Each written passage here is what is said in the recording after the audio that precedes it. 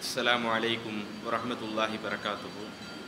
அன்பிற்குரிய சகோதர சகோதரிகளே எங்களது தொப்புள் கொடி உறவுகளே தமிழ்நாடு தௌஹீத் ஜமாத் காஞ்சி மேற்கு மாவட்டம் பம்மல் கிளை சார்பாக ஏற்பாடு செய்யப்பட்டிருக்கிற இஸ்லாம் ஓர் இனிய மார்க்கம் என்ற இஸ்லாம் தொடர்பான நேரடி கேள்வி பதில் நிகழ்ச்சியில் உங்களுடைய சந்தேகங்களை கேட்டு தெளிவு பெற வேண்டும் என்பதற்காக இங்கே குழுமியிருக்கிறீர்கள்.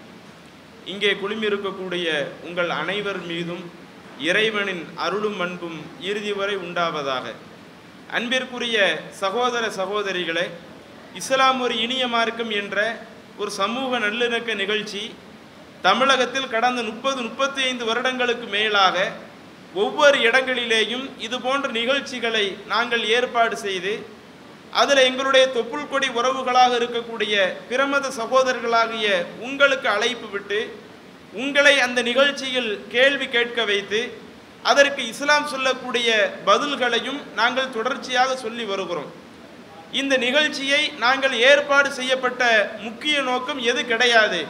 இன்றைக்கு இங்கே வந்திருக்கக்கூடிய உங்களுக்கு இப்படியும் நினைப்பு இருக்கலாம். முஸ்லீம்கள் வந்து இஸ்லாம் சம்பந்தமாக கேள்வி கேட்க நம்மளை வர சொல்கிறாங்க நம்ம இஸ்லாம் சம்மந்தமாக கேள்வி கேட்க போகிறோம் அதுக்கு அவங்க பதில் சொல்லுவாங்க.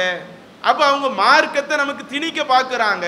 முஸ்லீம்கள் எல்லாம் அவங்க மார்க்கத்தை நம்மளை திணிக்கிறதுக்காகத்தான் இந்த நிகழ்ச்சியை கூப்பிடுறாங்க போல. என்று இங்கு வந்திருக்கக்கூடிய ஒரு சில சகோதர சகோதரிகள் உங்களுடைய மனதிலும் இது போன்ற நினைப்பு ஏற்பட்டிருக்கலாம். ஆனால் இஸ்லாத்தினுடைய போதனைகளை நீங்கள் எடுத்துக்கொண்டால் இறைவன் இஸ்லாத்தினுடைய அடிப்படை போதனையாக குரானிலே பல அறிவுரைகள் சொல்லுகிறான். அதில் ஒரு அறிவுரையாக இறைவன் சொல்லும் பொழுது லா இக்ராக ஃபித்தீன் இந்த இஸ்லாமிய மார்க்கத்தில் எந்த நிர்பந்தமும் கிடையாது. கதுத பையன ரிஸ்து மினல்கை எது நல்ல பாதை எது தவறான பாதை என்பது இஸ்லாமிய மார்க்கத்தின் மக்களுக்கு சொல்லப்படும். இப்படி மக்களுக்கு சொல்லப்பட்டாலும் என்ன செய்யக்கூடாது? இந்த இஸ்லாத்தை அடுத்தவர்களுக்கு நிர்பந்தப்படுத்தி நீங்கள் கண்டிப்பாக இஸ்லாத்தை ஏற்றே ஆக வேண்டும். என்று அடுத்தவர்களுக்கு நெருக்கடி கொடுத்து நீங்கள் இஸ்லாத்தை அடுத்தவர்களுக்கு சொல்லுங்கள் என்று இந்த ஒரு தத்துவத்தை இறைவன் சொல்லவே இல்லை. இன்னும் குரானிலே இன்னொரு இடத்தில் இறைவன் சொல்லுகிறான் உங்களுக்கு உங்களுடைய மார்க்கம். முஸ்லிம்களை பார்த்து பேசும் பொழுது உங்களுக்கு உங்களுடைய மார்க்கம் அவர்களுக்கு அவர்களுடைய கொள்கை. அவர்களா மனம் திருந்தி இந்த இஸ்லாத்தை ஏற்றுக்கொள்கிறார்களா? அப்ப பிரச்சனை இல்லை. ஆனால் நீங்க என்ன செய்யக்கூடாது? இந்த இஸ்லாமிய மார்க்கத்தை இஸ்லாத்தில் சொல்லப்பட்ட இந்த கொள்கை கோட்பாடுகளை அடுத்தவர்களுக்கு திணிக்கக்கூடிய அந்த ஒரு காரியத்தை நீங்கள் செய்யக்கூடாது என்று இதை இஸ்லாமிய மார்க்கம் ஆணித்தரமாக குரானிலே அறிவுரையாக முஸ்லிம்களுக்கு வழங்குகிறது. அந்த அடிப்படையில் இந்த நிகழ்ச்சியை நீங்க எப்படி எடுத்துக்கிட வேண்டாம்? நமக்கு வந்து இஸ்லாத்தை பத்தி நமக்கு திணிச்சு நம்மளை முஸ்லீமாக மாற்றுவதற்குரிய வேலையை செய்ய போறாங்க. அதற்காகத்தான் இந்த நிகழ்ச்சி ஏற்பாடு பண்ணியிருக்கிறாங்க என்று நீங்கள் எண்ணிக்கொள்ளாதீர்கள். அப்படிப்பட்ட கட்டளை இஸ்லாமிய மார்க்கத்திலும் சொல்லப்படலை. அப்படியானால் இந்த நிகழ்ச்சி ஏற்பாடு செய்யப்பட்ட நோக்கம் என்ன?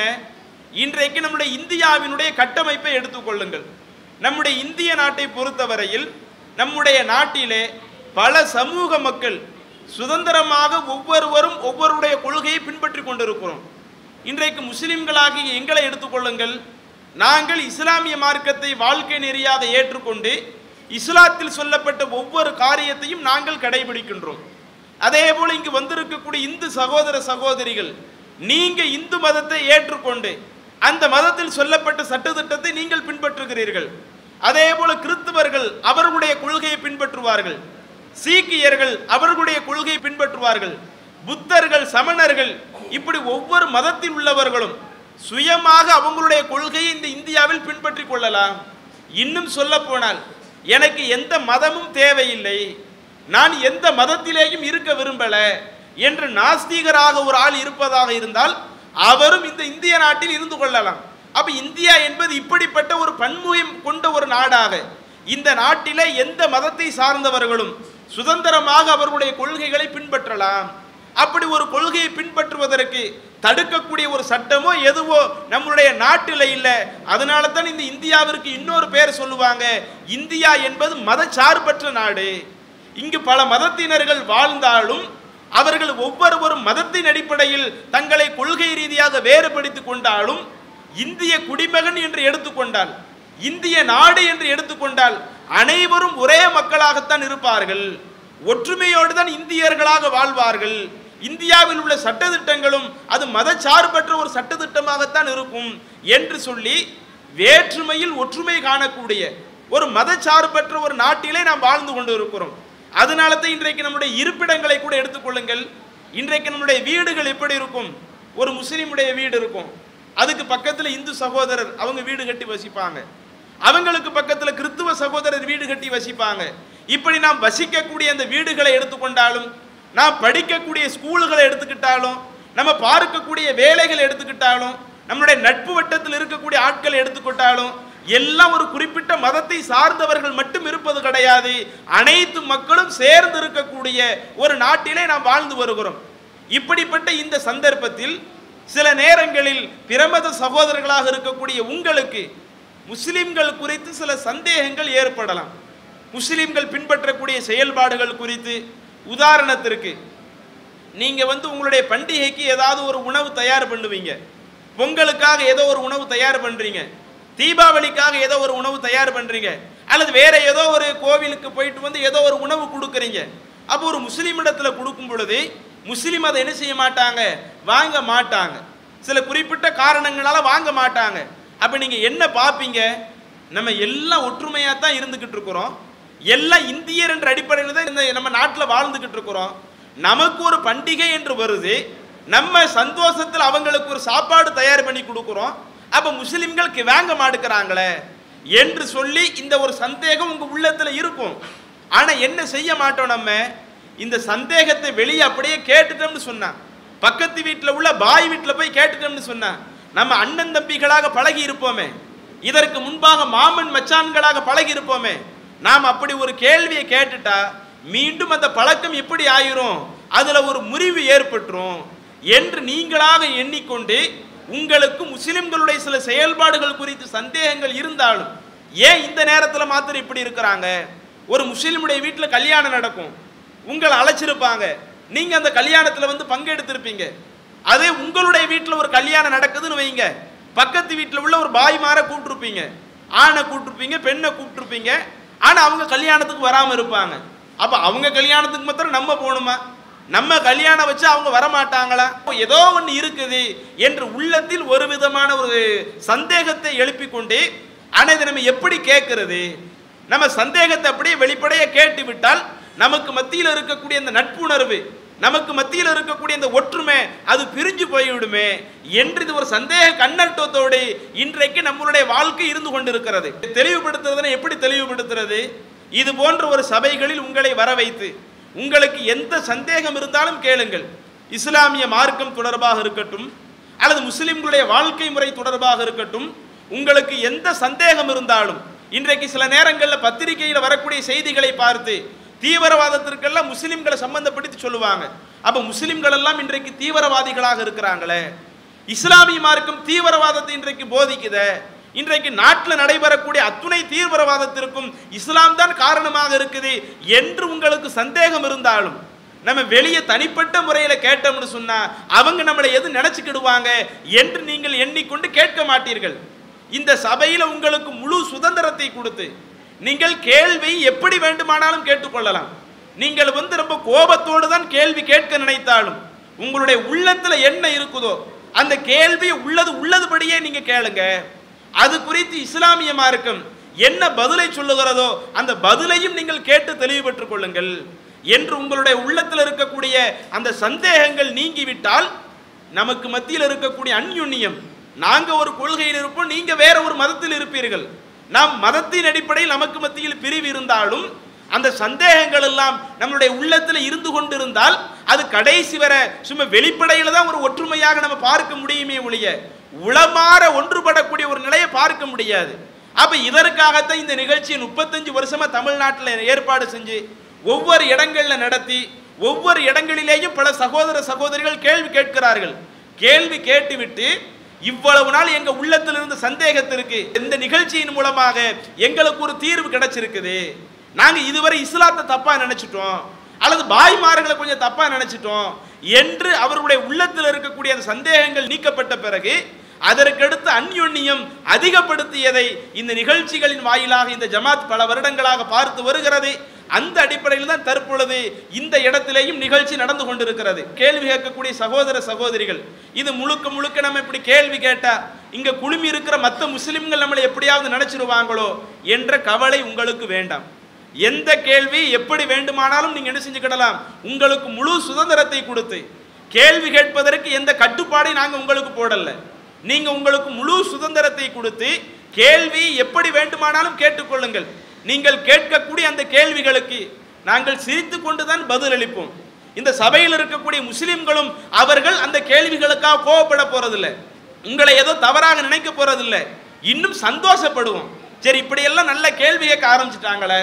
எங்களுக்கு எங்களுடைய இந்த கொள்கையை பற்றி விளக்கி சொல்வதற்கு எங்களுடைய நிலை குறித்து உங்களுக்கு புரிய வைப்பதற்கு ஒரு நல்ல வாய்ப்பாக அமைந்து விட்டது என்றுதான் இங்கு இருக்கக்கூடிய இஸ்லாமிய சகோதர சகோதரிகள் உங்களை பார்த்து சந்தோஷப்படுவார்களே ஒழிய உங்களை மேல வருத்தப்படுவதோ கோவப்படுவதோ எந்த ஒன்று இருக்காது.